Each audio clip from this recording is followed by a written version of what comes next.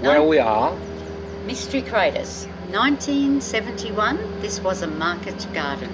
Farmer grew zucchinis on the property. Was clearing this area, getting rid of gum trees, long grass, putting more crop in. Hit some rock.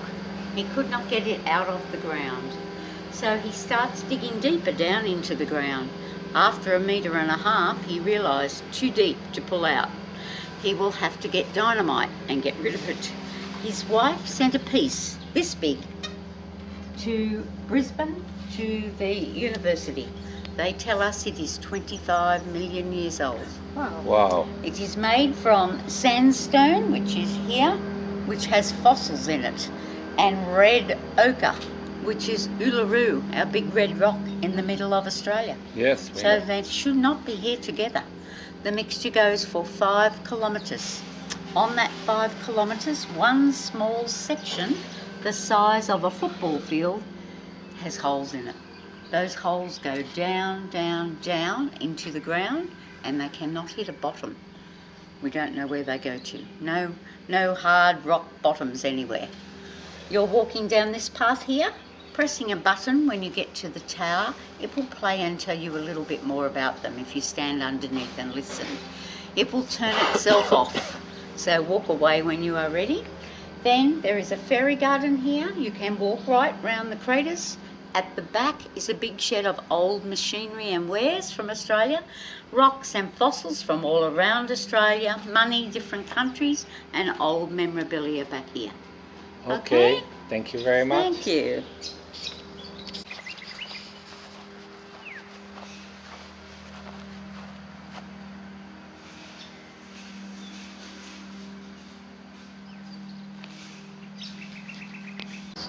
And at the base of the tower, there are two large pieces of petrified wood which contain fossilized bones. You're welcome to walk around the perimeter of the craters at your leisure and view the special features of this unique rock formation. The fence has been provided for visitor safety and children are asked, please do not climb on the fence. We have a fiberglass replica of a Tyrannosaurus rex. This type of dinosaur existed up to 65 million years ago in various countries, including Australia. On the way out, you will find a large collection of cut and polished stones, fossils, and a coin collection. And don't forget to see our large collection of old machinery and wares around the park for your convenience.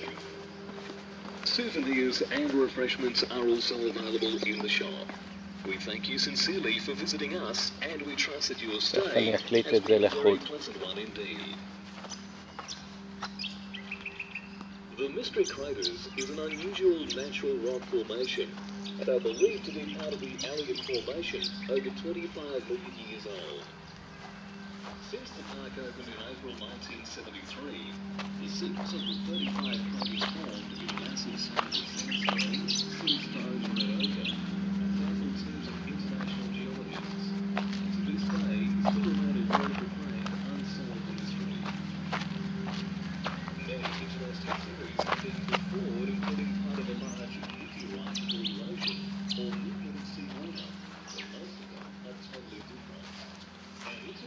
feature is the equal distribution of the red ochre through the cold sandstone as it was triangular giant cauldrons. Most geologists agree that the red ochre had to be mixed with the other two materials. It was so often mixed due to it so easily. The red ochre is the material that aborigines used to mix to a paste with water called consent. Most of the great scientists and philosophers have considered the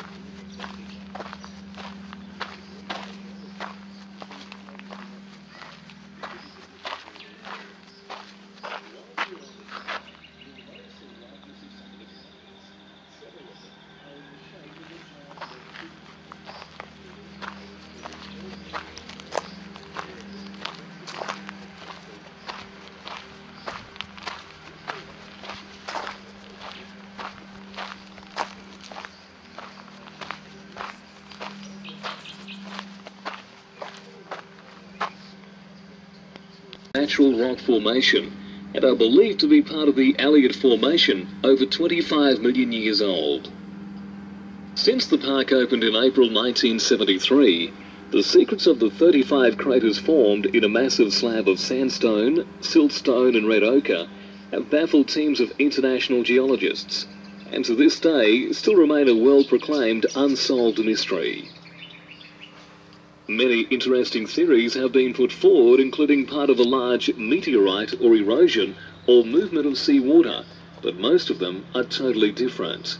An interesting feature is the even distribution of the red ochre through the coloured sandstone, as if once churned in a giant cauldron. Most geologists agree that the red ochre had to be mixed with the other two materials, but it was not only mixed, it was mixed so evenly. The red ochre is a material that Aborigines used to mix to a paste with water for painting. Most of the craters are without rock bottoms as they do not hold water for any length of time. It's agreed by geologists that these craters do not link up because of the different water levels. Whilst you're on the tower, you'll notice the likeness of some of the craters. Several of them are in the shape of a giant left footprint. You'll also notice several small craters in pairs, and they're linked once again identical and together. This formation extends straight ahead for about 50 metres. It also extends to the sides for a short distance, but no more craters appear. The crater with the pipe leading into it has been dug to a depth of 16 metres, and a good water supply has been found at this depth. Most geologists agree that the craters would have been open to their full depth when they were originally formed, and that they have gradually silted full over millions of years. Geologists also agree that this formation is completely natural and has never been touched by man. One of the most baffling points about the formation is what action has been taken to change the formation from its natural layered form to the rock mixture you see here now on top. Some geologists believe that this rock has been in some sort of boiling action. Fossilized marine deposits have been found whilst digging out and cleaning the craters.